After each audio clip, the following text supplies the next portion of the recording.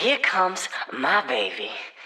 This song is important to me because, uh, like Prince's Lady Cab Driver and like Lil Wayne's uh, Lady Cop, you're talking about jobs that are male dominated, like super male dominated, like way, way more than half. There's no reason why. You know, there's just no, there's no reason why they should be so male dominated. So I think um, also in the millennial age where somebody just humble enough to like take a good federal job with federal benefits and do their nine to five is hot, like so attractive. And so for those two reasons, I really wanted to write this song. And the lyrics write themselves. I mean, really like all the like fun, flirty, you know, send it overnight, that stuff. I wrote I wrote the lyrics in like eight minutes.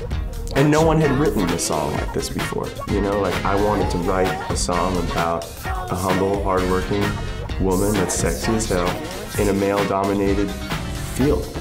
You know, it's dope.